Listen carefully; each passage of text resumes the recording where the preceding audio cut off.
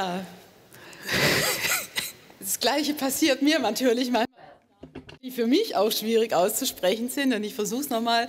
Äh, the same happens to me too, because some uh, names are difficult for me to pronounce as well. I'll try it again. Princess Abse Jigma, Linda Davis, um, my colleague Maya Flaxbart, ladies and gentlemen.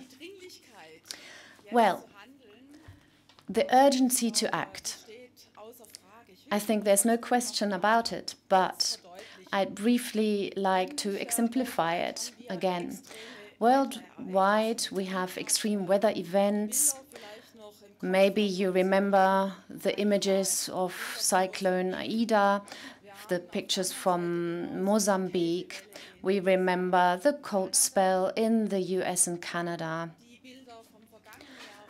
You remember pictures of forest fires in California and the droughts in East and West Africa, and even Germany was not spared. We had a rather dry summer last year and therefore we had crop failures in agriculture. So that shows how important it is, this issue. The World Meteorological Organization said for many years in a row this is the hottest year on record, 2015 to 2018. And never before has the uh, sea level risen as much as last year. It rose by 3.7 millimeters. It doesn't sound like much, but it shows that the situation is exacerbating and is speeding up.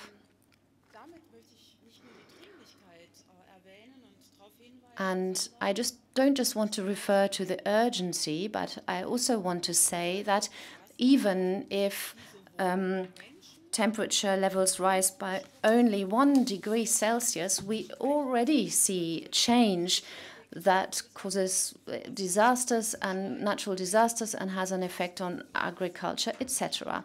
It's a human tragedy as well, not just a material one. So we need to act now. I think that means also that no matter where we are, we are responsible for an economic, ecological, and um, societal development, social development, and that means that we need to lower our greenhouse greenhouse gas emissions so that we can limit the effects of climate change. What can we do to limit the temperature increase. So, well, it's about climate change mitigation. We need to have a global energy transition, and that means that we need to expand renewable energies, and at the same time, we need to increase our energy efficiency. Two thirds of all greenhouse gas emissions are generated by energy generation or by energy use, and one third alone is created through um, energy generation by fossil energy. I held many um, talks recently in recent months and weeks, and it became clear that we need to sort of limit global warming to 2% or preferably 1.5%, and that we're probably not going to achieve that. And among experts, it's therefore important to talk about it again, to reiterate that if we continue as before, we will have we will have to expect um, an increase of three degrees Celsius with all the consequences that will have. So a few years ago, we thought, well, we can probably emit fewer greenhouse gases, but last year the greenhouse gases gas emissions rose to 33 gigatons, mainly as a result of increased use of oil, gas, and coal. The increase of coal, coal-fired power generation is a reason for that global um, power generation with coal. In China and India, people are reducing their plans to expand uh, coal-fired power generation, but other countries are uh, planning new plants in this area, for example, Indonesia, Vietnam, and Turkey, but also in Japan. So we need to think more about um, coal-fired power generation, and I think it's a good sign that my minister, who's at the clim uh, climate cabinet at the moment, that she is thinking about this, and we're thinking about joining the Powering Past Coal Alliance. Those are things that we now need to implement and to get to business, to get to that business that the previous speaker mentioned, we need to triple the investments in energy efficiency and we need to double investments in the expansion, expansion of renewables. What are we doing in Germany? Of course, well, in theory, you can philosophize about what we have to do. And I think the majority is of the same opinion, but at the same time, we need to act. In this coalition, we established a commission. It's called Growth, Structural Change and Employment. Well, it's known as the Coal Commission and um, business, industry, environmental associations, trade unions, regions, and academia are represented in this commission. And it was a historical step that this commission managed to um, submit a uniform, or, um, unanimous recommendation to us, telling us to stop coal-fired power generation and to develop structures further in the region. That means that the power plant capacities must be decommissioned until 2022 by 25% and another um, and by 60% until 2030 with baseline 2017. So at the moment, still a quarter of our greenhouse gas emissions still come from coal power plants, and the 4.5 reduction is also due to the decommissioning. But we have to work with the regions. There needs to be, um, it's a difficult transition because it needs to be equitable, it needs to be fair. And I think we can lead as an example here. And I think we'd be well advised to connect ourselves with others and to have a global network of like-minded countries. Let me get, get to climate change mitigation and our action program for 2030. We need to achieve the um, Sustainable Development Goals by 2030. We have uh, committed to that, and we also have a European reduction target, and we're enshrining that in national legislation.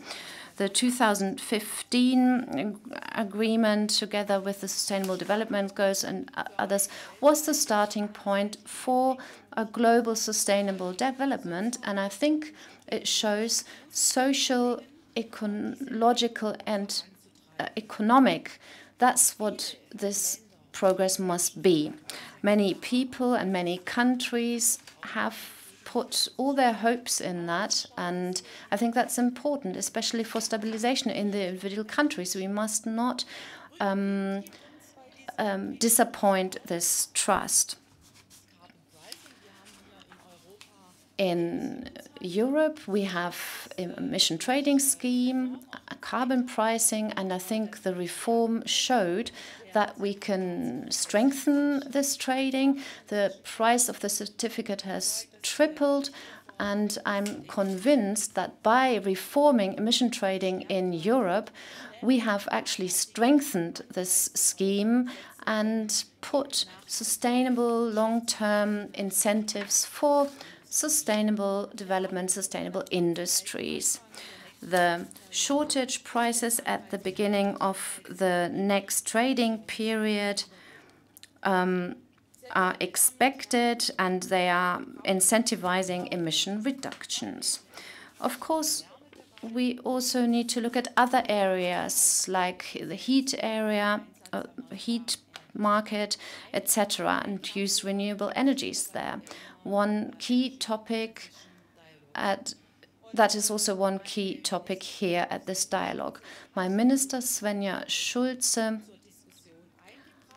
um, brought carbon pricing on the table and she has developed a concept, and there are two criteria for success.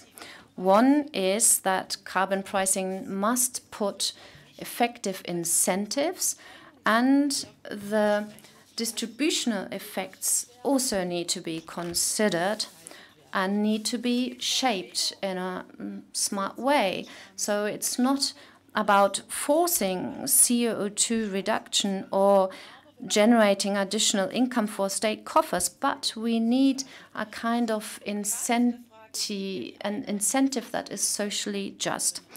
Exactly how we do that, how we redistribute the revenues of carbon pricing, that's something that's being discussed with many different options available. And my ministry is working on a concept on how such a carbon pricing concept can be climate effective and socially just at the same time. So we need to bring these two aspects together in order to ensure acceptance in society. And we need to have the support from society, especially young people don't want to wait any longer. Young people want us to act now. A couple of words about the European climate policy. This year, we will think about the long-term strategy beyond 2030 with its vision and comprehensive analysis for climate neutral economy, the European Commission showed that a transition to greenhouse gas neutrality is not only technically feasible but also an, uh, economic advantage to do that until 2050. And in the last few years, the whole climate and energy legislation has been reformed. Until 2030, we will now have a, a comprehensive legal framework that will regulate how many greenhouse gas emissions there may be per year or may be emitted per year. The climate regulation allocates these emission reduction targets to the individual EU member states on the basis of per capita GDP. And I hope that by the end of the year, all member states will be ready to will be ready so that we can finalize national energy and climate plans. The binding requirements at EU level correspond mostly to our national targets. In 2020, we will not hit our target in Germany in terms of ETS as well. That means that we need to buy additional certificates. But what I want to say is that you invest beforehand in renewable energies, in sustainable energy. I think that makes more economic sense than paying for certificates later on. Especially Germany, with its innovative power, has a special responsibility for decarbonization of the energy system. And we're not just looking at the expansion of renewable uh, um, energies, but also by increasing efficiencies, having better solutions for more flexibility, optimized networks, and power to X uh, technologies, um, storage technologies as well. I think we need more, uh, a more well, we need to have more speed in order to achieve all our targets and uh, yeah, make more progress here. Of course, there are also areas where it's going to be a little bit more difficult. I'm thinking about special industrial areas where we also want to provide support, and that's why we have also established a program to support industry. It's important that renewable energy, transport, industry, that we look at the different sectors and see how we can link them up with each other and how we can advance sector coupling. In order for all of this to be successful, and let me come back to what happens if we're not successful, what effects will that have? It will not only impact on the sea level and extreme weather events, it has something to do with peace, with justice, and that's what young people are asking for. The Fridays for Future movement comes at the right time to show us adults to act, to be courageous, to move ahead, and I think we need to pick up on that the role of industrial country, industrialized countries is pretty clear. And I'm sure that with dialogues such as this, with the Berlin Energy Transition Dialogue, we can make progress. And I'm very happy that you are all committed and dedicated to achieving the climate goals 2030 and 2050, working together and uh, making sure that the world will be a better place. Thank you.